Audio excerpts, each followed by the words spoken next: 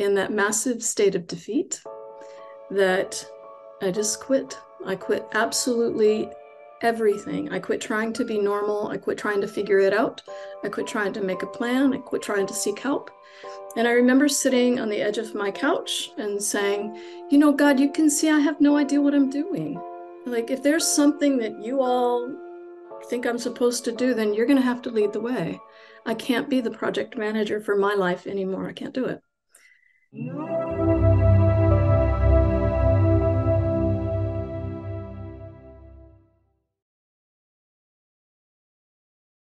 like to welcome to the show Mary Reed. How you doing, Mary?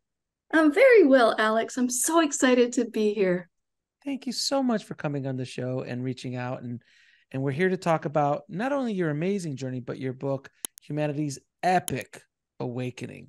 Epic. Which it is pretty epic what's going on in the world today. It is indeed. So before we get into this great shift that we're going through and this awakening, uh, your story is fairly interesting to say the least. So, what was your life like prior to your spiritual awakening before you started down strongly the spiritual path? Um, well, first of all, most importantly, I was very agnostic. I was staunchly agnostic. Uh, I didn't grow up with a lot of big questions about life. Um, I grew up around a bunch of Southern Baptists in New Mexico, and I couldn't relate at all. And uh, so I just, you know, I only ever wanted to just be successful and normal and do good things in the world to help people. And I grew up to do that as a healthcare executive based in Washington, D.C. I did clinical research for many years and then the nonprofit industry, mostly related to AIDS, and uh, ended up working in Africa and all kinds of normal things. Mm-hmm, mm-hmm. And uh, while I was very busy being successfully normal, in the summer of 2000, I started to hear a voice. And this voice it was just like this vibration that rose up in me very clear. And it said that i was supposed to be doing something very important which i already thought i was. So i tried to ignore it and it just kept getting more persistent and more pronounced. And after six months of that voice there was a series of events that unfolded that led me to need to find out what was happening so I went to see a psychotherapist friend of mine in Little Rock, Arkansas, and I'm like, I don't have any idea what's happening, but there's this thing keeps rising up in me. So uh, I went to see her in the middle of December 2000, and I spent two days with that beautiful friend of mine going into these unexpectedly into these mystical realms. And the very first thing that happened as we're sort of sinking into kind of a deep state to explore what's this thing that uh, I'm supposed to be doing. I went into the body and being of Jesus on the cross at the moment of crucifixion. And mm-hmm. then suddenly I just know I have all this information in an instant about all the things that have been happening in our human evolution, all that led to that moment, the conflict nature of our world, what happened from that moment forward, uh, all of this information. And then the next day, went back into those same kinds of realms, had a big meeting with my soul group, a big meeting with Moses about the conflict nature of the world. And so in one weekend, I got information about the New Testament and the Old Testament all in one fell swoop. And then I had to go back to my office in Washington, D.C., and just do my normal work. Hmm. and it it really just completely shifted absolutely everything. It was a real blowout experience for me and extremely confusing. And then all these experiences just started happening spontaneously, just, you know, as I'm into or out of sleep, as I'm, you know, relaxing somewhere, walking down the street, I would just have these huge metaphysical experiences. So they just kept happening and kept happening and kept happening. So, um, my idea of normal was quickly falling apart. And uh, so I tried to seek help. I went to therapist after therapist after therapist, trying to figure out what's happening to me. Why is this happening in, to me? And most importantly, what do I do with this? What does one do with all of that really weighty divine perspective on things? And uh, the therapist could not help. I went to Reiki practitioners and shamans and allopathic doctors, and then back to therapists. I saw more than 40 practitioners over the next 10 years. And uh, no one could help me. This is before, you know, you could jump on Google and type in consciousness or spiritually transformative experiences. That wasn't a language that we had back then.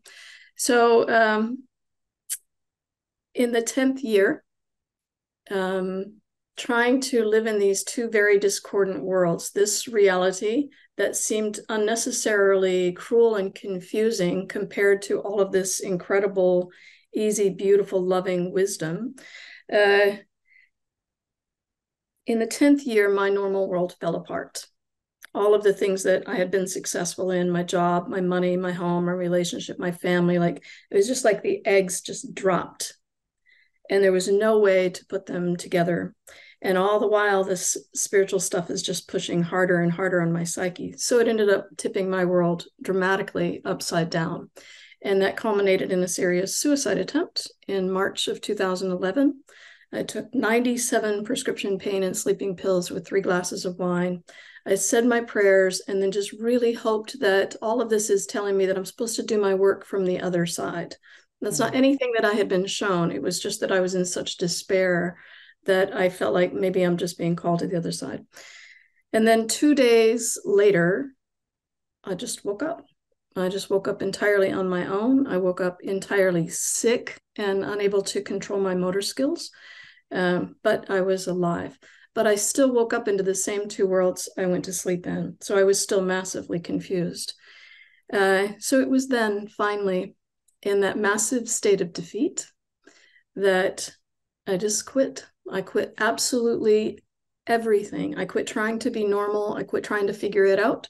I quit trying to make a plan. I quit trying to seek help. And I remember sitting on the edge of my couch and saying, You know, God, you can see I have no idea what I'm doing. Like, if there's something that you all think I'm supposed to do, then you're going to have to lead the way.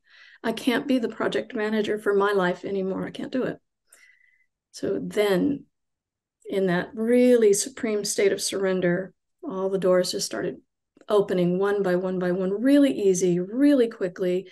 It was completely a path of ease from that point forward. And within six months of that suicide attempt, I was invited to India to meet with a high Tibetan Lama to tell them about my experiences.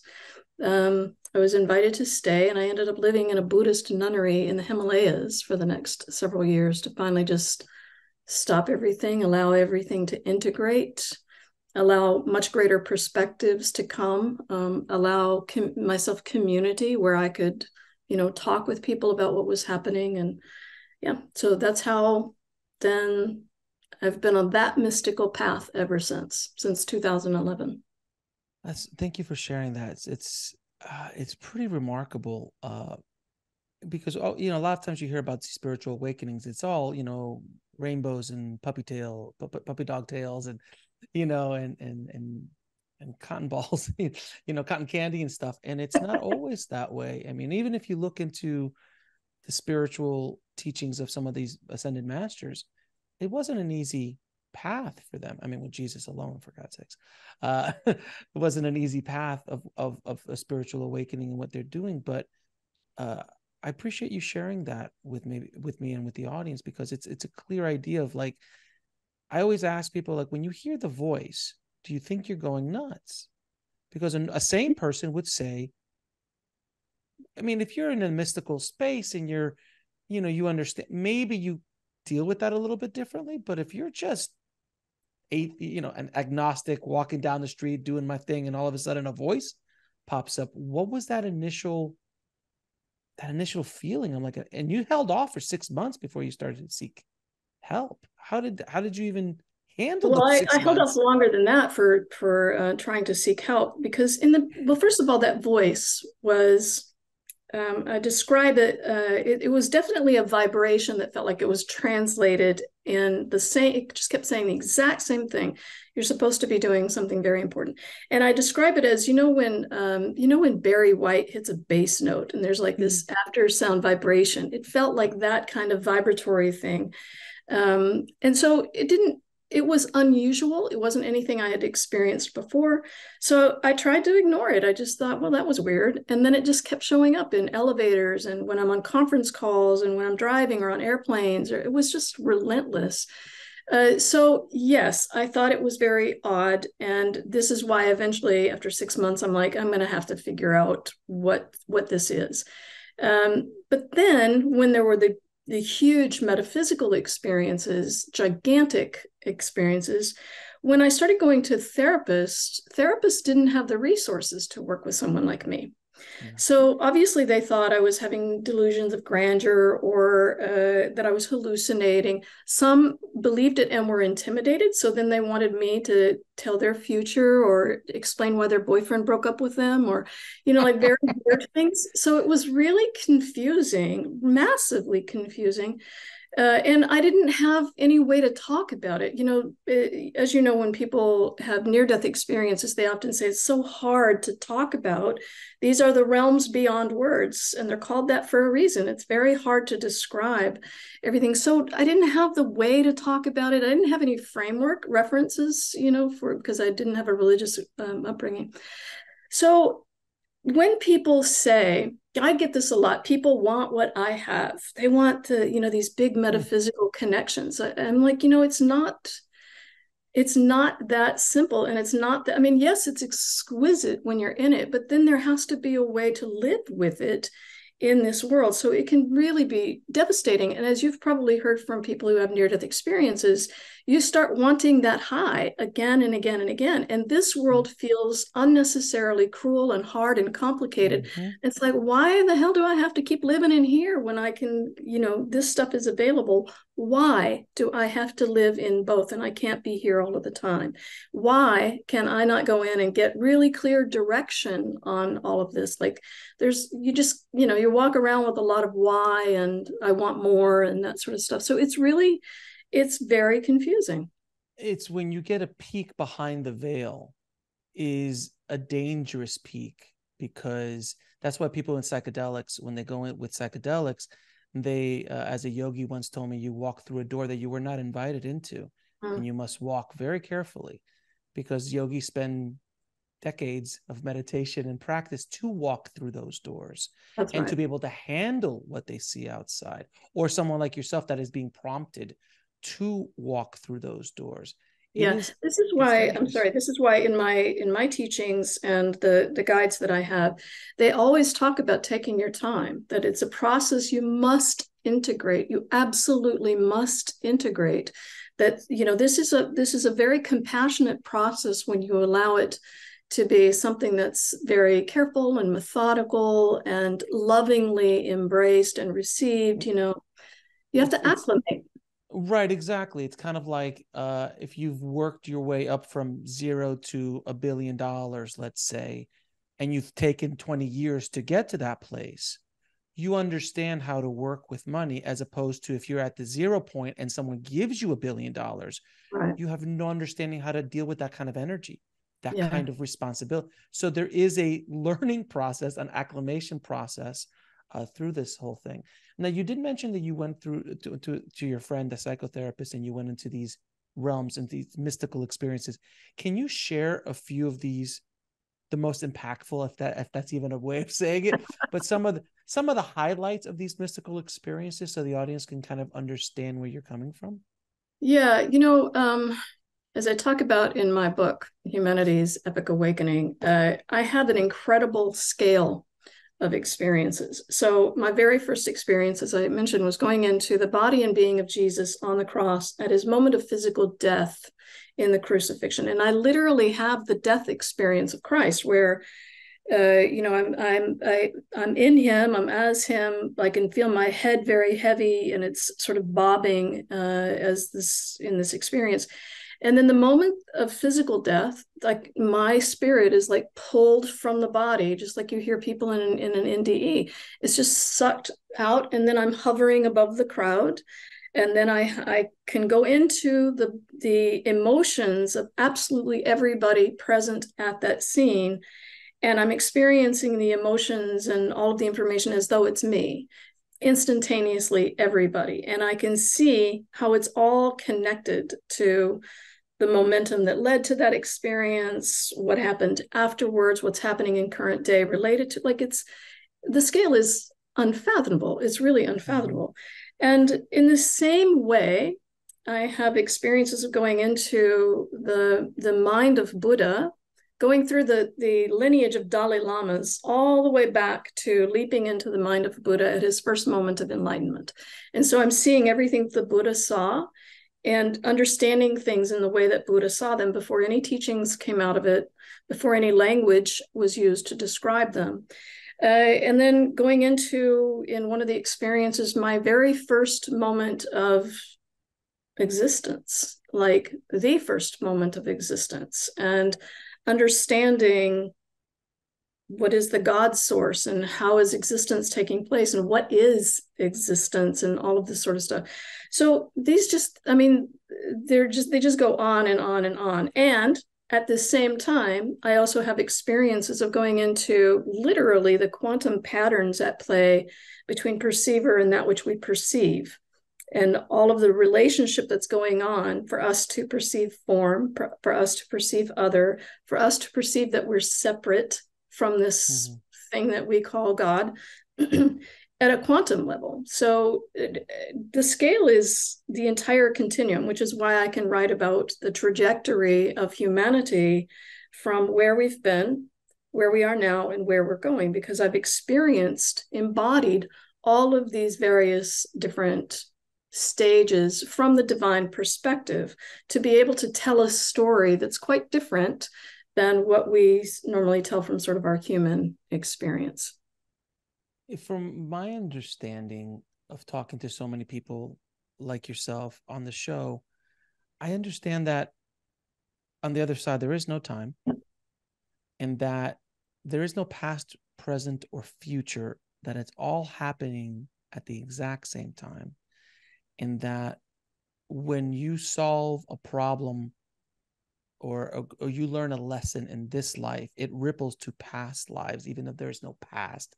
Parallel past. Parallel, yeah, yeah parallel past. It all seems to be happening at the same time. Even the future. That's how there's probabilities of the future. More likely, certain things will happen, but we have free will of going different places. So when you say things like that, of like, oh, I understand where we are, where we've been, where we are, and where we're going. If you've tapped into that kind of matrix, if you will, you would have a view of all of that mm-hmm. at the same time, which is incomprehensible mm-hmm. to our um, our hardware. Uh, our hardware, meaning our brains, can only go very limited. I mean, the Akashic records as an idea mm. is infinite. Mm. The the term infinite is it's still scratched, making quantum physicists and physicists like hurt their head with the yeah. idea of, of yeah because of it's hard to grasp the idea of infinite in a finite consciousness right an right. idea of this this linear you know right. sort of thing but if you imagine uh, first of all what you've said about it's it's really hard to grasp is the reason why i've told the story in the way that i did like mm-hmm. you know you, you set up a context so that the mind can comprehend a little bit and see the patterns that I speak about that are at play that we can relate to, we understand, we know that we're experiencing these things, and uh, so I, you can imagine like, uh, so you can imagine like a circle. Let's just call this a one plane kind of circle. And if you're in the circle, if you're any point in the circle to get from point A over to point B, you have to. It takes it's a linear, you know, sort of process. But if you rise up and you see that circle from a higher perspective, everything is visible at once, right? Everything is visible at once. So these are the perspective, like from the tiniest perspective in there to the greatest perspective if, is what I've embodied. But I describe this idea of like what we're waking up into, for example, that we will experience as a future. is much like you know the, the the light of a new star it just takes a really long time for it to come into our awareness. The light is already there, but for us to perceive it just takes some time. So we're sort of waking up into the presence of that light.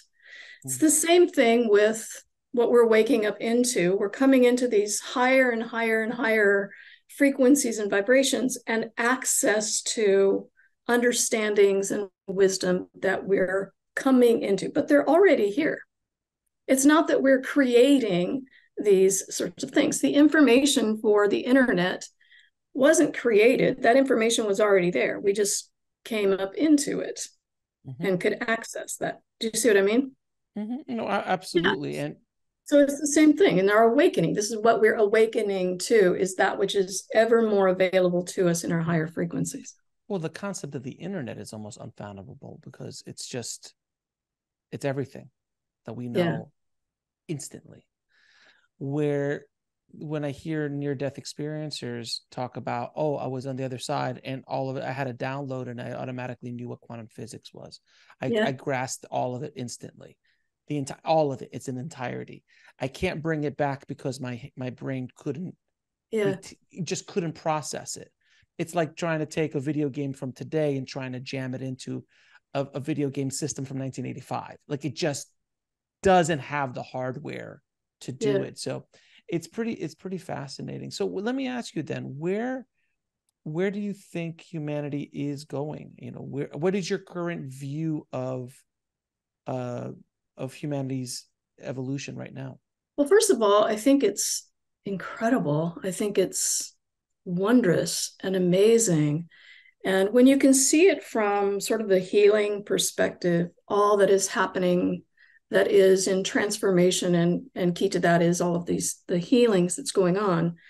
When you look at all the chaos that's underway you can understand that that chaos is important because it is happening because of all of this old pain that is rising up from the crevices of humanity this pain that's always been here we didn't just create pain it's always been here so in the awakening, in our healing, coming into more of our wholeness, nothing's going to be left behind. And that in particularly means the pain. So that pain rising up is going to be expressed through all of this chaos, all of this mayhem and mess. And so the more that this divine presence is palpable and accessible here, it's pulling up all of these things to be included in this healing.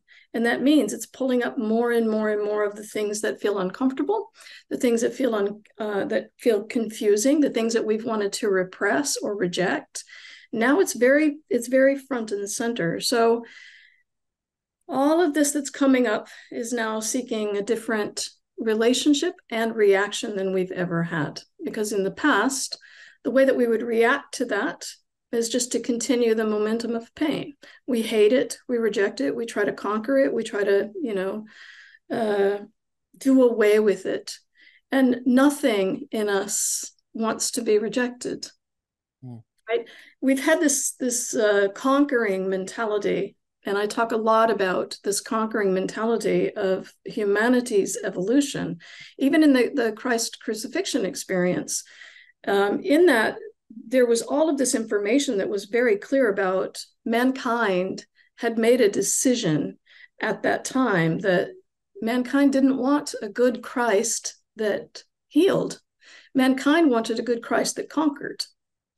And that's a very different dynamic to continue on in how society works, right? That's the fundamental systems of our world is this conquering mentality. You know that in your your film industry because every story requires a conflict arc, right? Oh, I, you require absolutely. this tension and this the good conquering the bad, right? But you know, ultimately, because we are all one, because we are all from the same exact source, we keep employing this idea of trying to make one part of us make another part of us go away. And you'll mm-hmm. notice that we can't. We've never been able to. We've never been able to love our bad away, right? We just keep recycling it. And the reason is we keep using love like a weapon to try to conquer or do away with this bad. And what that bad is, is all of our pain, is the expressions, these iterations of pain that are crying out so loudly for love. And what we're coming into is the realization that, oh my God, we're that love. We're the answer to that cry. we're not the thing that continues to try to reject it or conquer it or destroy it. We're the thing that says, Oh, my darling, come on in. Come on into this home of love. And that's the transformation. Exactly that is the time where we begin to transform all of that pain into a healing, creative co creator of love with us. It, this, it, it sounds like it's a spiritual facial where it's pulling out all the pores and the black gook that's inside of your pores to clean them out. Oh my God, I've never heard that analogy, but yeah, that works. I mean, yeah, because it's like literally the, the, this new awareness is pulling out all these crevices. You said these crevices. Right. First thing that popped in my head, I was like, oh, it's a spiritual facial. that's exactly right. Yeah, that's exactly right. It is a cleansing. You know, you hear a lot of teachers um, talk about this time being a, a time of of clearing and cleansing, and that is exactly what's happening. and we get to be part of that process. And, uh, you know, this is all about changing our relationship to what's happening, changing mm-hmm. our orientation from an orientation in this separation consciousness into an orientation into a more embracing unitive consciousness.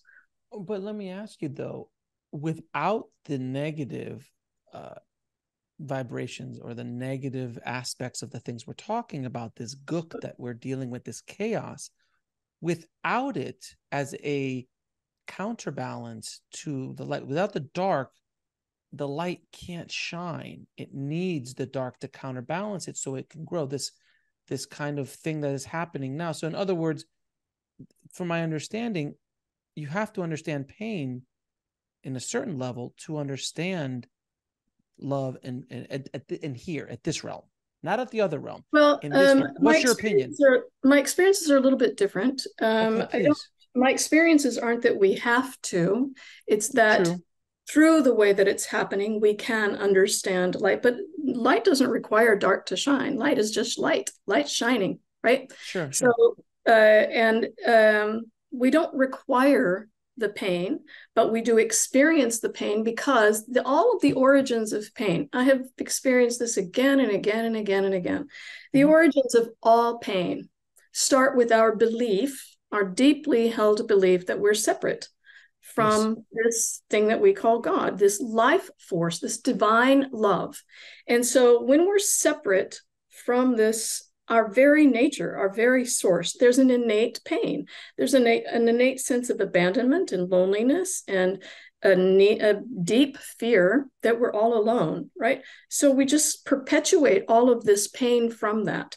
And this is an avenue. We didn't mean to do it. In my experience, this wasn't some grand plan that was like, we're going to suffer and see how we learn through that. That's not my experiences at all it was all an innocent exploration that just, you know, continued to perpetuate and perpetuate and perpetuate. We did learn and we are learning, we have learned a great deal from this. But what's at hand now is that we don't have to suffer in the learning through this avenue. Now we can begin to heal the things that we do not mm-hmm. want to bequeath to you know future generations or humanity. Humanity as a whole has finally said okay we're done with this path. Now we're going to go exploring some greater aspects. And when you think about in the in the higher dimensions they don't require pain. No.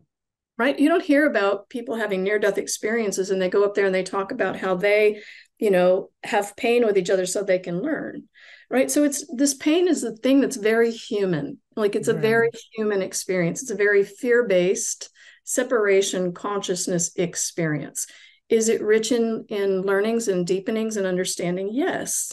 But now we're we're learning that we can have the richness of that as we heal those things to continue on to ever more expansive much easier uh, much more compassionate paths of exploration.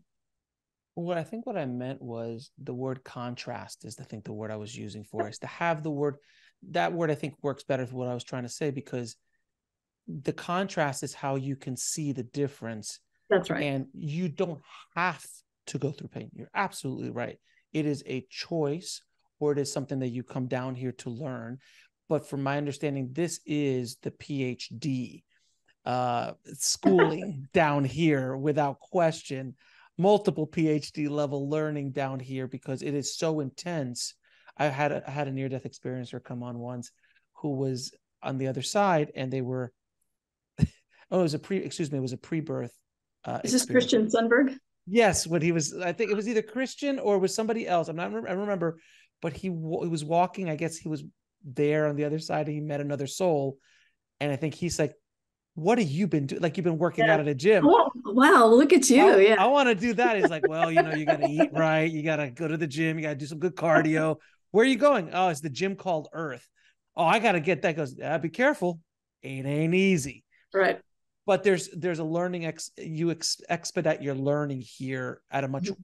ra- more rapid rate than you do on the other side when you have this kind of contrast because it's just it's the same concept of lifting a weight the more weight you put on the faster your muscles grow because you're being tested and pushed in ways yeah. that you wouldn't without that contrast is that a fair statement yeah, yeah, yeah. Yeah, that makes sense. And I, I talk about in my book this idea of contrast that in my experience very early on in our evolution, um, in God's evolution, of, you know, we're exploring through contrast because if you're red and everything around you is red, you don't know right. what red is. Right. So, and then you encounter yellow and you're like, oh, hey. And then everything begins to, uh, you know, be possible in different ways that we can explore in different ways. So the more contrast you have, the more interesting and and deep you can go in self exploration, right? Mm-hmm. I mean, if you just look at your a, a plate of food, uh, it could be just a one element, or it could be a contrast of many different flavors and ideas, yeah, and yeah, even yeah. cultural and things like that. Makes it much more interesting. Isn't that beautiful? Isn't that this is what this is what I find so wondrous is that um, you know there's uh, one of the teachings from my guides is about appreciating the uniqueness of absolutely everyone and everything. Yes. No one, like you and I, there's no one else in the history of humanity that has the perspectives that you and I do, that mm-hmm. any single person does. No, this is why we're all so incredibly precious, is because we offer this singular, unique experience and view of uh, all of life through this unique lens right it's it's incredible. And absolutely every single thing in our world is that way. It's you, all beautifully unique. No, it, it, without question. And then if that's only on the human level, then you start going into the animal level and the plant level and all these other forms exactly. of consciousness in one way, shape, or form. It is just and it's infinite. Yes, amount infinite. of perspectives of what we can of what that's correct. It's unfathomable. It's complete. And then let's not even start talking about the universe. We're just talking about this yeah, one. I was just going to say, then you have multi-dimensional, right? Then we start getting into all kinds of different dimensions, and the mind is like, ah, that's just too much. Yeah. No, yeah, the concept of the multiverse is a, an idea that quantum physics is starting to play with, and it's starting to make their head spin because it's such a difficult and complex idea that to have multiple versions of this conversation going on. I've had people on the show yeah. who are like, "Yeah, I'm seeing." What we're doing right now, but I also see where this is over here, and I always see our how our conversation is going over here, and can go all the way to us yelling at each other, to all the way us loving it, or it's all different ways of communicating in different dimensions. I was like, your head really begins. Yeah, this is where you realize that the mind just can't grasp it. The mind just cannot grasp it. And I, I had this incredible experience one time about uh, I was in the nunnery in India and I was, you know, still young in my exploration of what the hell is going on. And I was asking the question in a meditation, you know, I don't understand what it means to be the light of God. Like what what does that even mean? Is that an actual light? Is it just using words? Like what does that mean? And then uh, I had these two screens come up. And one of them was a screen of being the light of God from the mind, and the other was being the light of God from the heart. And the mind screen was really rudimentary. It was like stick figures, and the scene was very basic. And it was just that the mind was trying to recreate what it was trying to understand. But it's not the reality. It's just this thing that's trying to understand it. Being the light of God from the heart was really vibrant and rich and alive and just like luscious. It was the embodied experience of the light. It's the actual experience, not the idea of what the experience is. So the mind is always trying to understand the idea of what a real experience is, but it's not the actual experience. So it can't it can't get there. It can't hold the scale of all of the things that are actually possible and accessible to us because basically it's just greater aspects of ourselves. Ah, these conversations go down the da- the deep rabbit holes, don't they? they really do.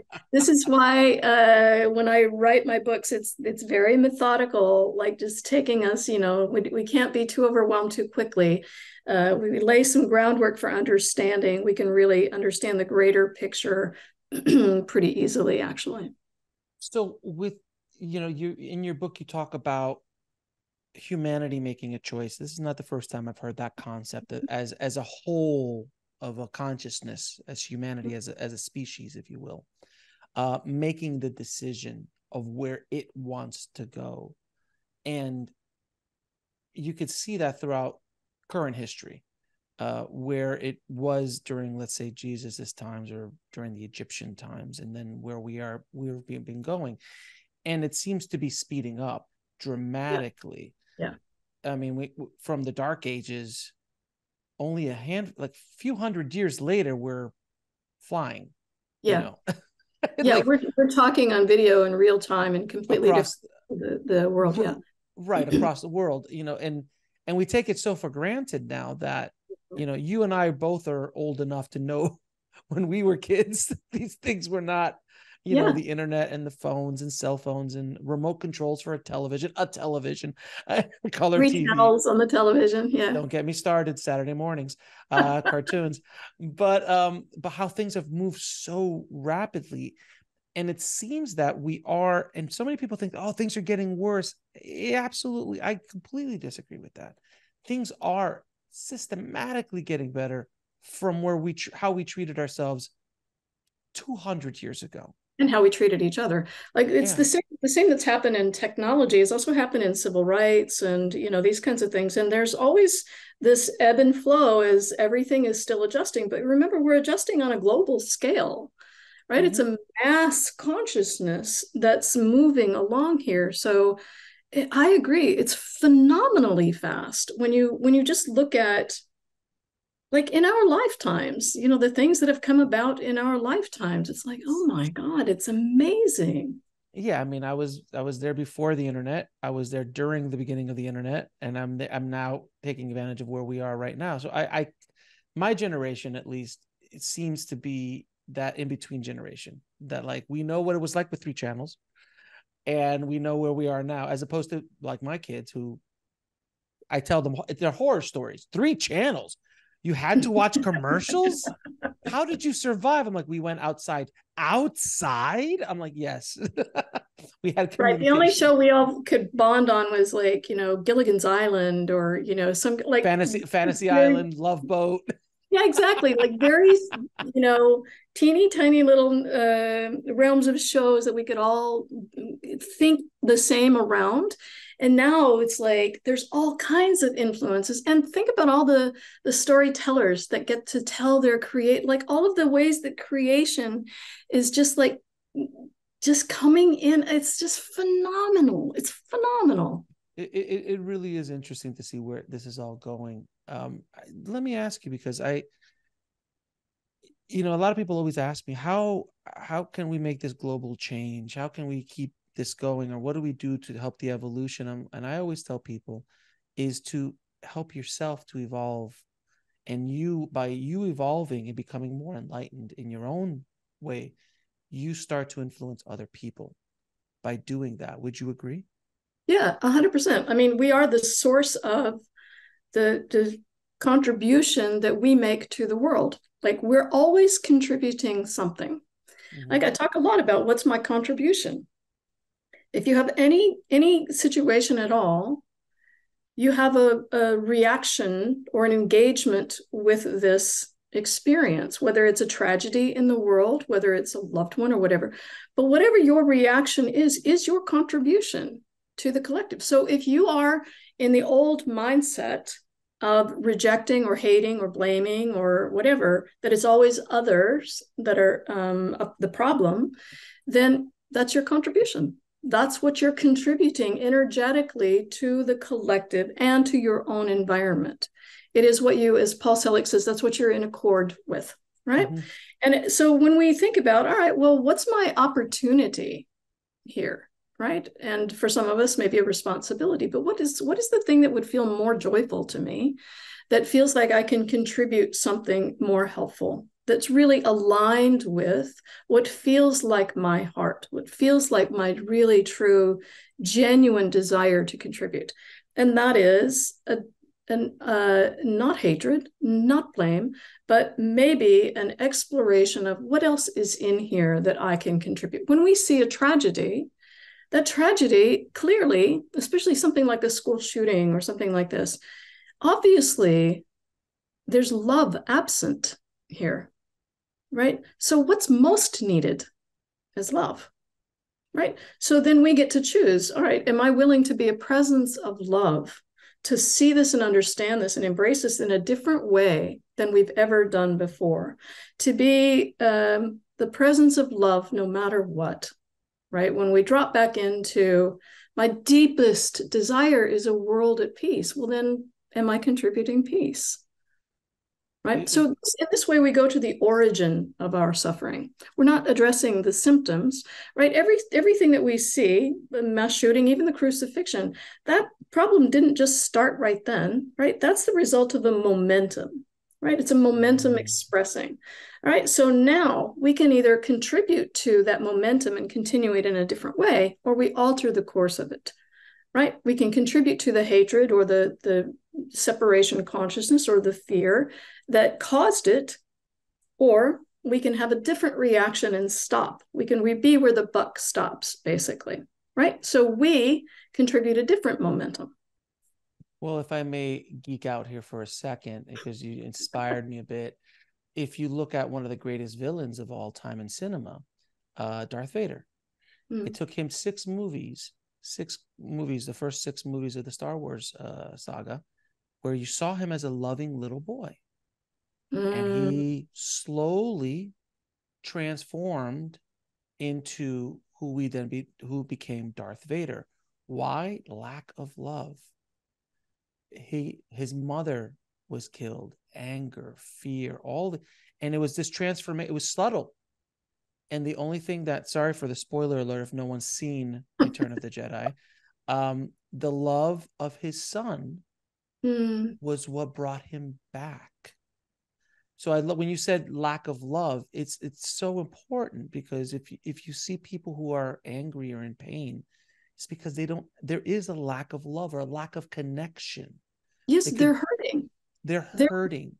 That whatever the expression or the iteration of pain that they're expressing, this bad thing is, it's their cry for love. Yeah. It is their the loudest cry. I mean, we look out right now. There's these these big tragedies are our loudest cries for love, and it's our greatest opportunities to then find the resources within us, the connection within us, the love within us that can flow in response to this, not in a way that our mind has to figure out, but that our spirit can allow, right? That is the love coming. This is the divine love. This is not the human idea of love, but we're the avenue in. We are all these vessels, the avenue in for the divine love. This is how all of this divine presence is starting to make itself known in our world through people like you and I. What I find interesting is when you speak about divine love, for those of us who meditate and have been meditating for a long time and we're able to tap into uh, a deeper place within ourselves, at least from my experience as being a meditator, there is this thing called the, the kind of meditation of bliss, where you are blissful and you're blissed out when you come out. There is this kind of level that you it's very difficult to get that anywhere else unless you are using some sort of drug of some sort, which is uh, it, it very pales in comparison to it. But it is a deeper level of connection and love than you get in the human experience. You could have a tremendous amount of love for people in life. but when you look into your spouse or into your children's eyes, there is a spark of the divine love inside of them. And that's what we connect to. So when you're able to, and you understand this because you've been, had your mystical experiences, when you connect to that divine love, you're like, oh, this is where it's at. Oh, this is the love that they're talking about. It's, the near death experiencers talk about this constantly too, is all they felt was love as love was the language of the other side it is how it is that's what you speak with is love on the other side mm-hmm. again very difficult for our brain to comprehend. Would you agree with this? Oh 100% 100% you know my experience in going into the first moments of existence my experience in the the primordial god space if you will is that what we call god this life force, this source, if you will, uh, in my experience, is a is a, a beautiful, incredible, dynamic awareness that has a singular nature, and that is that it's cherishing. And it is not some thing that's aware and cherishing. Cherishing awareness is the thing. Like it is the the the substance of what we call God. And uh, so when we when people have a near death experience or a spiritually transformative experience where you come into that presence of angels or or masters or god and you have that really blissful like wild blowout experience of love it's because we've come into the purity of that cherishing awareness and that cherishing is so pure it's experienced as this ecstatic bliss because it's that powerful and that's our nature that's our source. That's what's giving us life experience. That's the thing animating every single one of us is that. So, in our awakening, as our beliefs that we're separate from that begin to fall away, we begin to access more and more and more of, we get closer and closer and closer and closer to that relationship, to that embodied experience of the purity of that love.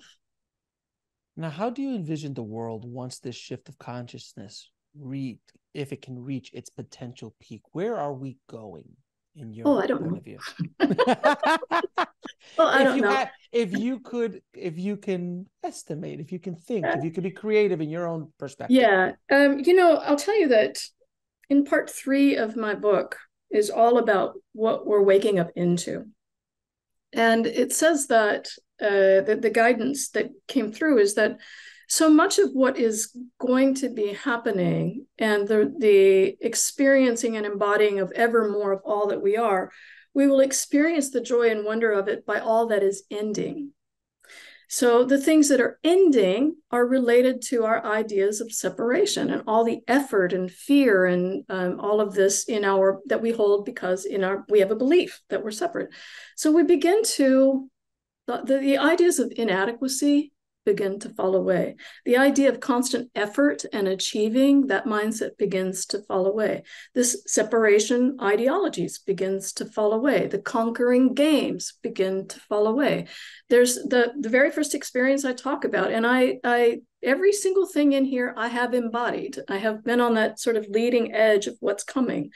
And the very first experience I talk about is the end of hell that the very idea of hell is ending. So we don't have the the evil ideas. The we don't have good and an evil paradigm, right? That paradigm in and of itself is the key thing. This is the the the sort of anchoring chapters of my book talk about this good trumps bad paradigm is the actual key thing that's the work of the universe that's now beginning to transform. So we begin to end all of the suffering. We begin to end the, the things that create a constant, sort of sustained sense of despair or a desire for something, you know, greater than us or whatever. We begin to rise up into so much more of our capabilities that we're not tethered or founded anymore in this weighty despair a burdened um, kind of way of life. So it's the path of ease is basically uh, again and again and again what I've been shown the path of ease. And it's, you know, I talk a lot about the constant state of fascination wonder and awe. And as you've probably experienced in your own journey, the further we get along in the mystical journey, the more easy that is. Like we really begin to see how incredibly fascinating it all is, not seeing it from a judgmental perspective of like, oh my God, when is this ever going to be finished? Right. Oh, absolutely. I mean, as as I've gone down my my own spiritual journey, things have become much more fascinating to me and I've you know, I'm not perfect. I'm a human being. I still have to deal with human being things. But judgment starts to, to go away a lot yeah. more. More compassion, more empathy starts to come in. And you start to to look at life a little bit differently. When you stop when you stop trying to control your That's journey. Right. When you stop trying to control your journey, those doors start to open up. And I've just experienced it so again and again and again, whether it's like, okay, well, you did it that time, but this time I need to take the wheel. Uh, okay, well, you did that, but I really need to like, I need to drive now. Like in that ego ego aspect of ourselves, when you start to start to let go more and more, life becomes so much more enjoyable, and you don't look for it to end. Even the even the quote unquote negative things as as that come into your life you start looking at them like what am i supposed to learn here right? You don't see them as negative. You see like hey you, you look like you need some attention here. What's happening? Right? what is we begin to relate to it differently. And this is you know this is the difference alex in being led by fear which is right. fear is the thing that needs to control. It needs order. It needs security. It needs safety. This is you know if you look at all of the systems of our world are built around this and it's entirely achievement oriented. You have to keep achieving to be okay, right? You have to keep growing. You have to keep uh, getting better, getting better, because it tells us that we're not okay as we are, right? So we begin to stop being led by fear. We stop making fear make the choices for us, and we begin to just bring fear along on our journey in a very much bigger way. And I, I talk about this uh, very simply in the idea of embracing things rather than indulging them. Right. And this, uh, I use an example with this, the lesson on fear. And when you, when people really look at honestly their lives, they begin to see how many ways fear really does control. They really do follow the choices of fear in life. But I talk about this um, embrace versus indulge in a very simple way. Uh, where I used to live in India, about an hour down the mountain range in the Himalayas, was where they have the World Paragliding Championships. And I've done it, it's fantastic. And the way that it happens is that you're up on this peak and you've got an Indian guy strapped to your back, and he's got a parachute strapped to his back, and then the two of you just take off running and you leap off the cliff. now, fear is the thing that of course you're scared uh, but fear is the thing that gives you that nervous exhilaration mm-hmm. as you leap off that cliff yelling whoa but you're still going on the adventure right? You're still trusting the adventure. Now that's embracing our fear. We're like i'm scared shitless but i'm going to leap anyway. Indulging our fear is the thing that won't let us run off the cliff. It's the thing that holds us in place and says, no, uh, we're going to ask that fear to make our decision for us. And now we don't go on that adventure. And so this is a, now we've identified, we've aligned with fear, right? So we begin to make our decisions differently. We begin to have a larger trust, a larger surrender to a greater adventure as we begin to shift out of fear based identity, out of alignment constantly with fear, and into a greater sense of exploration and adventure. It really does feel like a grand adventure. Uh, Mary, I'm gonna have to leave you to jump off that that ledge because I uh, I will not paraglide. I'm sorry. I agree with the analogy, but I will not be jumping off. You, we can we can take it to something less scary. Didn't you leap off a, a cliff when you decided to do your show when you oh, finally oh, yes. said i'm just going to have to take the leap right of course yeah let fear make the decision about your your path right, right. you said i'm going to have to take this leap of faith right i'm a little nervous probably and i'm going to bring fear along but this feels like the right path right it doesn't have to be so extreme that's just a helpful example no no it um, was it's, it's it, a lot of fun it, it, no it is it is uh I agree with you. No, it was. It was a terrifying leap for me. And that was the time that I finally understood when you let go of the wheel. Yeah. Someone's driving. Um, right. There's someone who takes that wheel and takes you to places that you could not take, things that you were trying to do. Right. That's were so hard.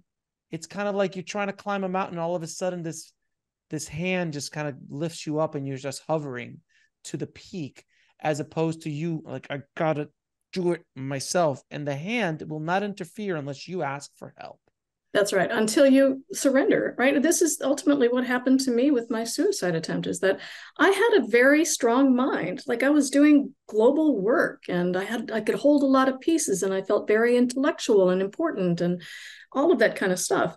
So it took a lot for me to come out of that mind into like all right i'm i have no idea what i'm going to do with my life. I have no idea but something else just took it something else said this is the path now that's available to you and it's and this path has always felt way more normal than but you have to normal. right but the thing is that a lot of people think oh well I, you know, I want to control my life. I, you know, we have free will. I'm like, you do. All they do is open the road. You still got to walk it. You still got to work it. I, right. I, show up every day and do these interviews and release them every, you know, every week.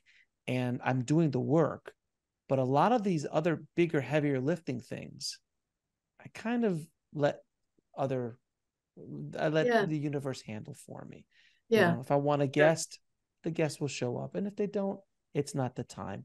And it's it just the way it were before I was like obsessed about I need to get this.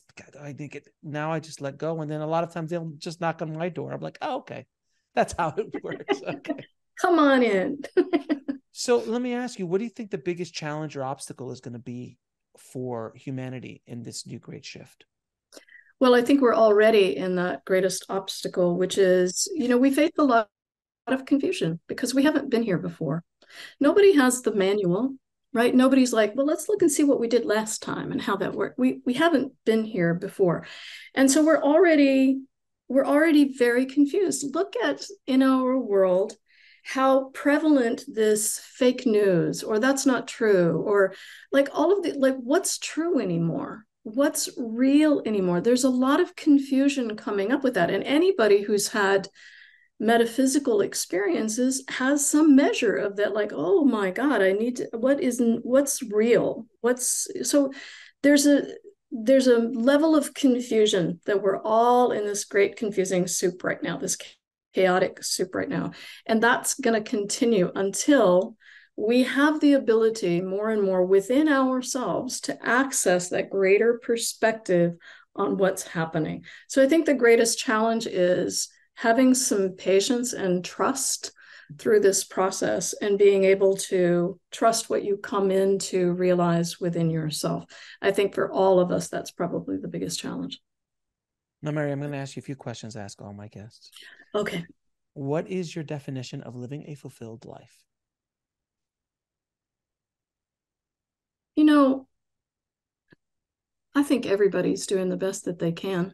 I think everybody's dealing with different levels of capability, different lenses of filters, you know. So I think everybody's doing the best that they can. But I think that the the life that feels most perhaps fulfilled or easiest is one in which we've just let ourselves, let everything in us be free from our ideas of how we thought we should be and really just let the love that we are live unabashedly through us.